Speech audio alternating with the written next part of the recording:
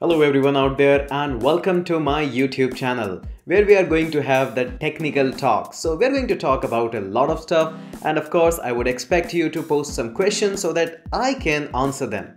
Now to, in today's question we are going to be answering a very important question. What are the top 5 programming language on which I should be focusing?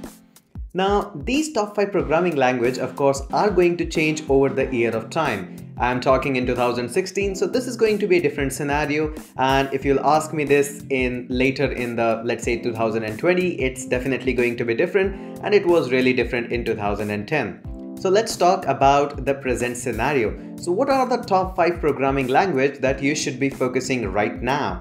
So it is very simple nowadays. You should definitely be getting started with the JavaScript. Now this was not something that you might have seen as a coming because JavaScript was not at all considered as a good programming language to start up out there. But nowadays it's really really important that you get started with the JavaScript.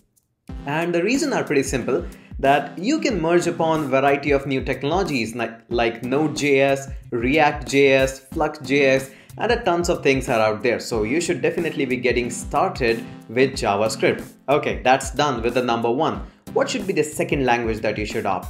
Now, I would say being a big fan of Python, I would say that you can choose Python. Now, choice is up to you. You might want to choose the Python or the Ruby, but I would say just opt one and one of them can serve you as pretty good. So I would say that go for the Python. You can develop some web apps or maybe some desktop application or pretty much anything in the Python. So that is definitely going to be the number two language in my list. Now what come up, comes up the next is going to be really really little bit tricky. Now I would say opt between the two language, the Java or the Swift.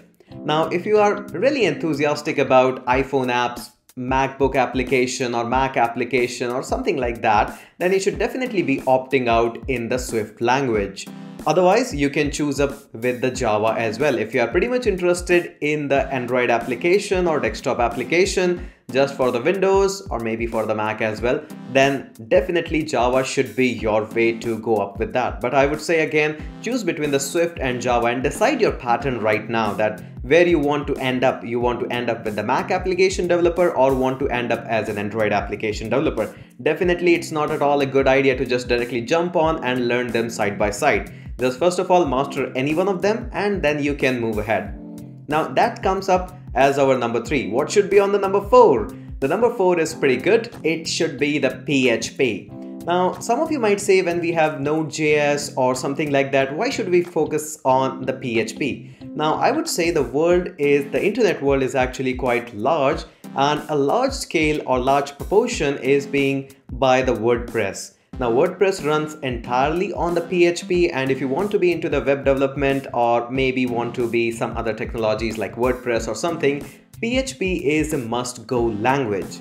Okay, so these are all about what about the number 5?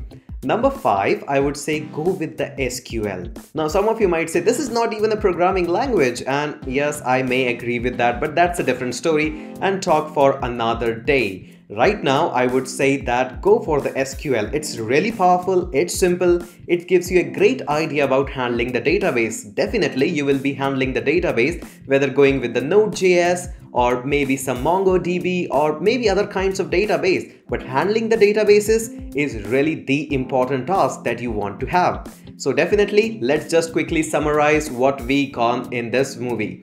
So top 5 programming language that you should be focusing. The first one, I would say that always go with the JavaScript in the present scenario. It can lead you with the variety of ways, Node.js, Flux.js and a lot of things like that. Number two is going to be the Python. The number three is going to be a choice, a smart choice by you between the Swift and the Java. Number four is going to be the PHP and number five is going to be the SQL. Now definitely I would say that add up based on the basis of what you like to do or where you want to go. Some people would say, I don't need to learn Java or the Swift or any of those. I would be moving on to the jQuery or maybe Ionic frameworks or something like that, like PhoneGaps and all of that. But that's up to totally you. Now, this was my point of view. I would definitely like to know what's your point of view on this video. Okay, so with this, now let's end up. Again, I would say that subscribe, like and comment below down the videos. Please don't forget to subscribe to my channel post your questions down, down below so that I can know that what video I want to make next or what video you want me to make or answer such questions. Your questions really make this a really really enthusiastic video and quite fun as well. Okay, see you out there in the next movie.